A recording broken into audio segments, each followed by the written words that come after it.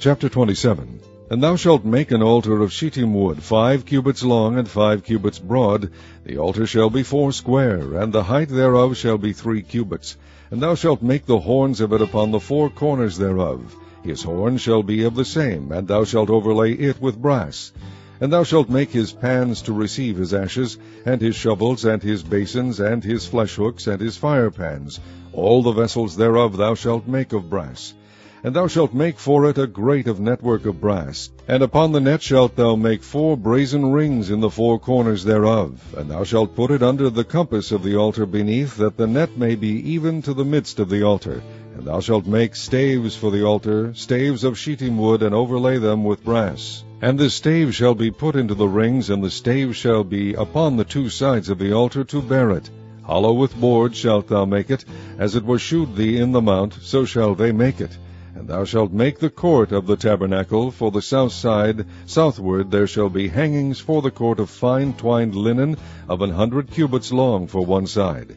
And the twenty pillars thereof, and their twenty sockets, shall be of brass. The hooks of the pillars and their fillets shall be of silver. And likewise for the north side in length there shall be hangings of an hundred cubits long. And his twenty pillars and their twenty sockets of brass, the hooks of the pillars and their fillets of silver. And for the breadth of the court on the west side shall be hangings of fifty cubits, their pillars ten, and their sockets ten. And the breadth of the court on the east side eastward shall be fifty cubits. The hangings of one side of the gate shall be fifteen cubits, their pillars three, and their sockets three.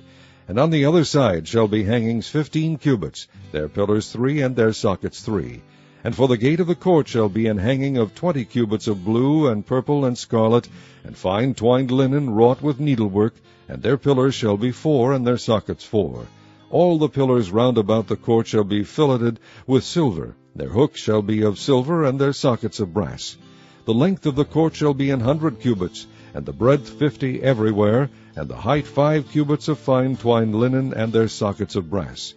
All the vessels of the tabernacle, and all the service thereof, and all the pins thereof, and all the pins of the court, shall be of brass. And thou shalt command the children of Israel that they bring thee pure oil olive beaten for the light, to cause the lamp to burn always. In the tabernacle of the congregation without the veil, which is before the testimony, Aaron and his sons shall order it from evening to morning before the Lord. It shall be a statute forever unto their generations on the behalf of the children of Israel.